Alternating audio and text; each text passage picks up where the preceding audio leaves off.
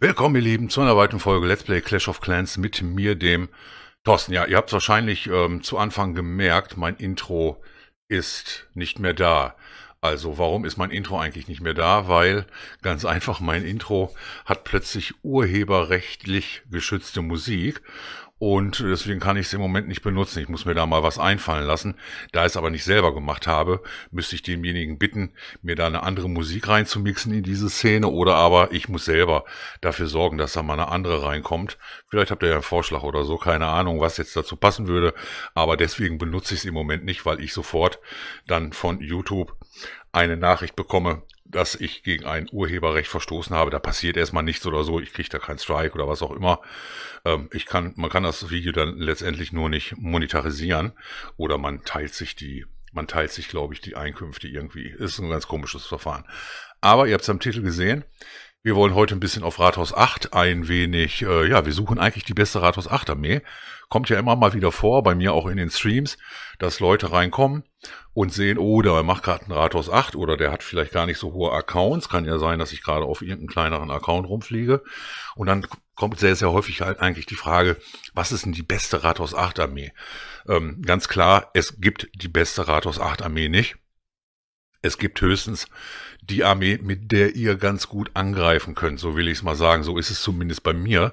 Es gibt ja auch bei mir Truppen, die nutze ich im Rathaus 8 Bereich so gut wie gar nicht. Also will ich mal so sagen, so gut wie gar nicht. Oh, wir haben was live auf unserer Seite. Ich quatsch einfach mal weiter.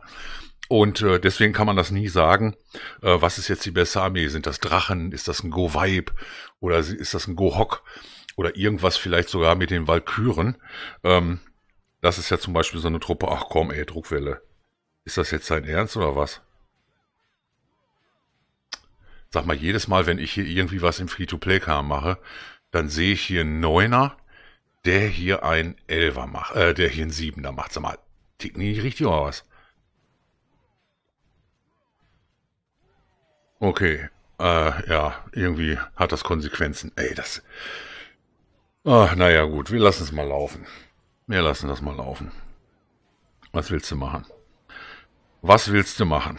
Ähm, ja, ohne, ohne Worte. Ihr, ihr hört das gerade. Ich bin irgendwie gerade so ein bisschen fassungslos, weil der Krieg geht hier noch über 13 Stunden und ähm, so ein bisschen haben wir uns da, glaube ich, jetzt teilweise rein, reingeoutet, dass wir sagen, ab Stunde 12 äh, sind die Bases frei, auch wenn irgendwelche Leute sich meinen, ähm, hier 18 Stunden Bases zu, zu blocken oder so und dann vielleicht sich wundern, dass sie nicht angreifen können oder haben keinen ordentlichen Gegner mehr, weil alles schon weg ist. Aber Druckwelle musste das jetzt sein, die 24. Ich weiß, dass ich selber noch mit meinen Achtern beide Angriffe habe, beziehungsweise mit Lela noch einen Angriff und mit Fry, äh, ja, und mit Fry noch zwei Angriffe. Aber äh, Leute, das, äh, das ich will da jetzt nicht zu sagen, ich reiße jetzt einen Chat auf und äh, muss, glaube ich, mal ein ernstes Wort mit, Druck, mit Druckwelle reden. Ach komm, ey. Ach, Mann, naja. Äh, das blende ich euch aber aus, das äh, blende ich euch jetzt nicht ein. Gefahr erkannt, Gefahr gebannt. Naja, egal. Ähm, ein, ein, hier ist ein Platz frei. Hallöchen, hier ist ein Platz frei in dem Clan. Äh, wir waren ja stehen geblieben bei den Rathaus 9 Angriffen. Ich habe jetzt, ähm, wo hatte ich denn eigentlich angegriffen? Lass mal gerade gucken. Mit der besten Armee, ja, mit der besten Armee. Also, ich habe mir mit der Lela einen Go-Vibe ausgesucht gehabt auf diese Vase hier, denn im Moment ist das ähm, neben den Drachen für mich die optimalste Armee. Ihr seht hier kurz mal die Clanburg gelockt. Äh, das kann man einfach machen. Ich schmeiß dann immer einfach ein Gift, so ein bisschen proaktiv. Und da laufen die Truppen dann schon irgendwie rein. Ähm, ja, nicht, nicht ganz optimal, aber es war, es war schon ganz in Ordnung so. Und ähm, das ist im Moment für mich, zumindest neben den Drachen, für mich jetzt die effektivste Armee, die ich habe, ähm, weil ich auch auf einige Bases so Drachen, da habe ich keinen Bock drauf, muss ich einfach mal sagen, da habe ich keinen Bock drauf, da kämpfe ich hier lieber mit so ein paar ordentlichen Bodentruppen. Und die dann, ähm, die sich dann durch die Base hier fressen. Ihr seht das hier, das geht bei Rathaus 8 eigentlich ganz gut. Und die Defensive ist ja auch noch nicht so gut. Ich meine, ich habe meine Packer jetzt auf 3, Das ist eigentlich schon mal so ein kleiner Grundstein, dass man die hoch hat. Die Golems werden sicherlich noch ein bisschen dauern, aber die haben ja auch schon einigermaßen nette Trefferpunkte und können da schon einiges ab. Ihr seht das hier mit äh, zwei Wut und ein Heil nehme ich immer mit. Kann man auch ein bisschen anders machen, ähm, ist aber für mich so ein bisschen so eine Kombi. Hier unten gerade jetzt auf Ecke die Masse der Truppen nochmal schön durchzuheilen, damit die jetzt den Rest hier machen. Aber wie gesagt, diese Base war jetzt auch noch keine Max Ratos 8 das darf man aber nie verkennen. Die Truppen können hier auch blöde laufen, aber hier, ihr seht jetzt schon so ein bisschen, die Hälfte der Base ist ja weg. Das Design ist auch für so eine Truppe auch sehr, sehr gut gemacht. Die können hier einfach so die Bahn entlang laufen und machen hier ein Gebäude, egal ob das jetzt ein Ressourcengebäude ist oder ein Verteidigungsgebäude, nach dem nächsten und können so ein bisschen, ja, ja, wie gesagt, die können einfach so ein bisschen die Bahn ablaufen, bis sie dann irgendwann wieder innen landen und ich fand es ganz schick und ich greife damit auch ganz gerne an. Also Go Vibe ist in jedem Fall immer eine Option. Ähm, auch wenn man sich sagt, okay, wenn ich jetzt nur zwei hole, weil die Base zu schwer ist, kann man das ja auch machen. Am Ende nur noch die Lager und das Rathaus. Und dann war es das hier. Ich glaube, ich hatte sogar an, an die Ecken so ein bisschen gedacht. Ja, ich hatte an die Ecken auch gedacht. Das ist jetzt auch die letzte Ecke da hinten, die Bauhütte auf drei Uhr dann verschwindet und ihr seht das hier, hier sind, ich glaube, hier habe ich, ich habe nicht einen einzigen, habe ich einen, doch, ich glaube, ich habe einen Packer habe ich verloren, ich hatte ja drei selber mit und einen in der Clanburg, da brauche ich dann auch nicht so eine High-End-Truppe, aber ich glaube, das sind drei, oder? Habe ich doch einen verloren? Okay, ja, dann habe ich doch einen verloren. Aber so kann man es machen. Schöner Go-Vibe, das ist so, auch so ein kleiner Armeevorschlag hier. Ähm, auch mit dem Packer, den kann man sich natürlich ein bisschen höher spenden.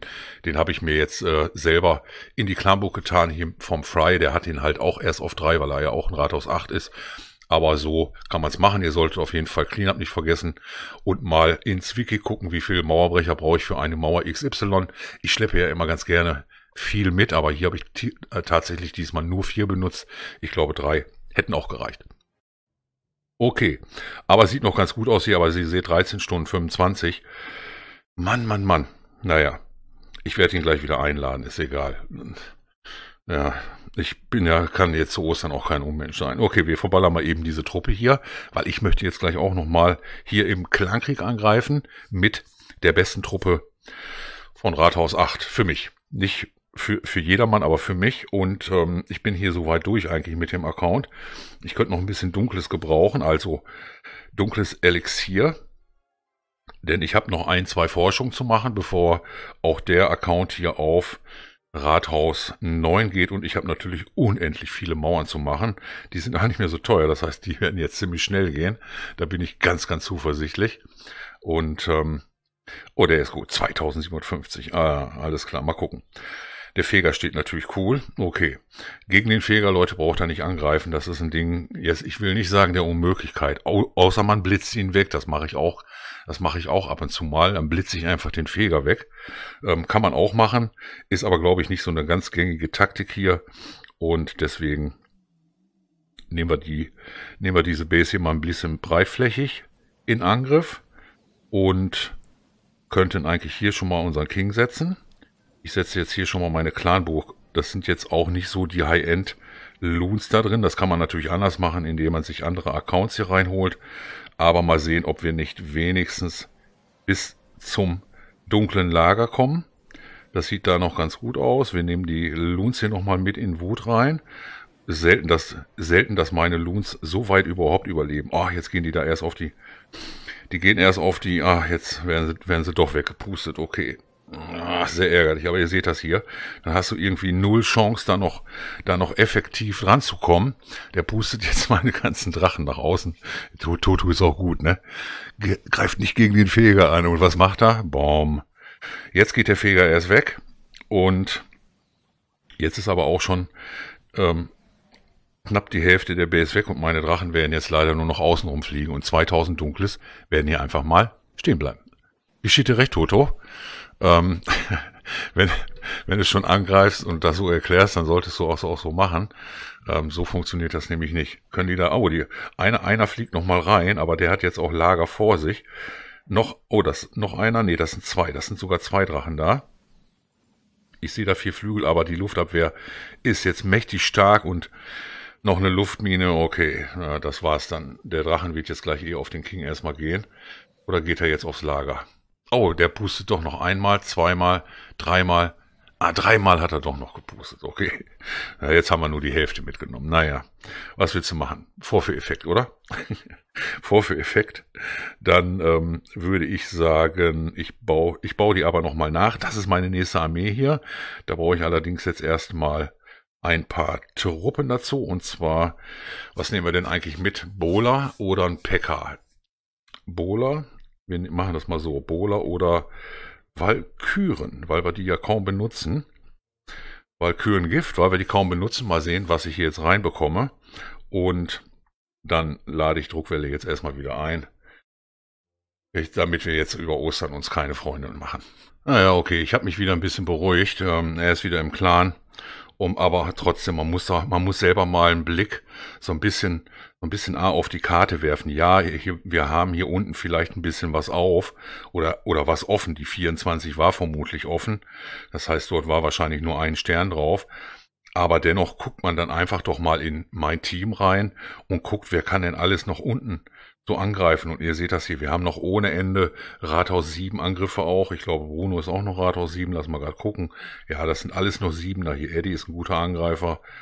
Äh, ist allerdings auch schon 8, aber auch gerade so 8, oder? Ja, geht, geht schon. Aber trotzdem, bei Eddie wird's dann schon losgehen. Mikrobutton hat noch offen, Brüso hat noch offen und, und, und. Lela hat auch noch einen. Den hätten wir irgendwie wieder zugekriegt, oder? Jetzt fehlt uns da oben natürlich ein Rathaus 9 an, Angreifer. Ähm, Wobei wir hier oben auch noch andere Angreifer haben, ähm, die jetzt irgendwo ähm, mal, mal auf grün sind ohne Helden. Das ist natürlich auch immer sehr, sehr prickelnd, wenn du gar keine Helden am Start hast und bist trotzdem grün, weil die Vize und auch der Anführer, die überprüfen hier nicht vor jedem CK, hat denn auch jeder je, alle Helden dabei, hat sich vielleicht jemand versehentlich noch auf grün stehen lassen nach der Liga oder wollte er nicht lieber Helden machen, dann sollte man doch tunlichst nicht so tun, als wenn man der hier der Reißer ist, äh, auch ohne, auch ohne ähm, Helden. Und ihr seht ja, was da oben bei rausgekommen ist. Nix. Okay. Mal sehen, ob das jetzt bei mir was wird. Ich bin mal gespannt mit der besten Truppe hier auf Rathaus 8, also mit einer meiner Lieblingstruppen. Ich habe jetzt mal ein paar Valkyren mit. Ähm, ich warte jetzt nicht hier 100 Stunden und ich logge hier auch keine riesen Accounts von mir ein, nur damit die Leute hier Max-Truppen bekommen oder auch ich nicht. Ich nehme immer das, was ich kriegen kann. Das ist vielleicht nicht immer das Optimalste, aber ich kann damit arbeiten. Okay. Was wollen wir hier machen? Wir wollen hier erstmal die Clanburg locken und zwar auf diese Flanke hier, dass wir den nervigen King nicht haben.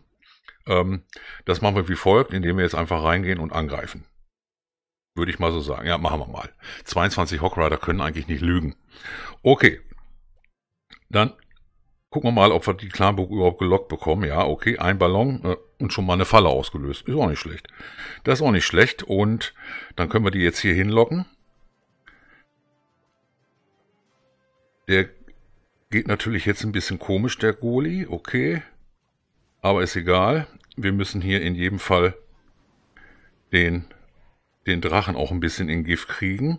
So, ein paar Mauerbrecher dazu. Oh, die sind nach außen gegangen, da sehe ich gerade. Alter Falter. Okay, da muss ich jetzt, glaube ich, noch einen Drachen noch mit dazusetzen. Und damit das hier nicht ganz und fail wird. Oh, das wird aber ein ganzer Fail hier. Scheiße, nee. Okay, da muss ich jetzt alle Register ziehen hier. Da muss jetzt wirklich alle Register ziehen. Um das noch zu retten hier. Komm, Magier, mach den Drachen da weg. Mach den weg. Nein, er schafft's nicht. Der Drachen fliegt nochmal durch den Gift. Und Stirbt er?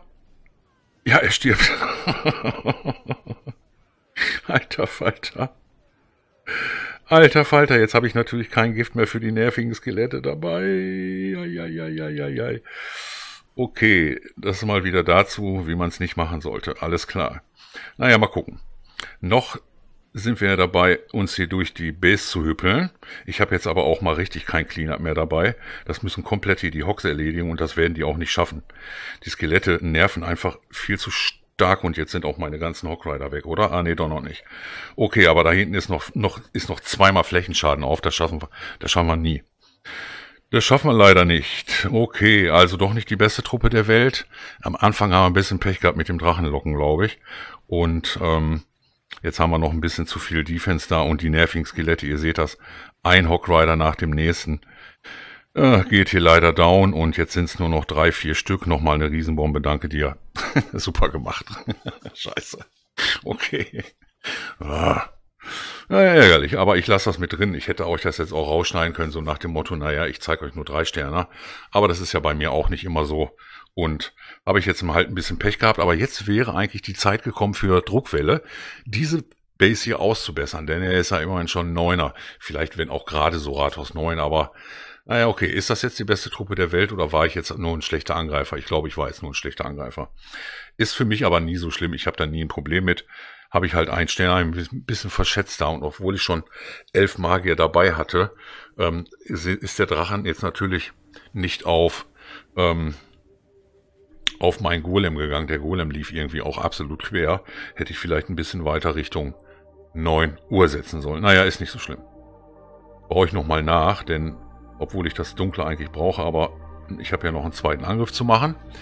Ich wünsche euch aber in jedem Fall ein gesegnetes Osterfest, auch wenn das Osterfest dieses Jahr nicht so sein wird, wie es oder wie ihr es gewohnt seid und auch wie ich es nicht gewohnt bin. Aber ich denke, wir müssen einfach das Beste draus machen und deswegen ähm, seid nett zu euren Liebsten, lasst euch nicht ärgern und haltet euch an das, was wir im Moment eigentlich nicht machen sollen. Hört sich auch ein bisschen doof an, aber ist es leider so. Ich wünsche euch auf jeden Fall frohe Ostern. Danke fürs Zuschauen. Euer Toto. Recht.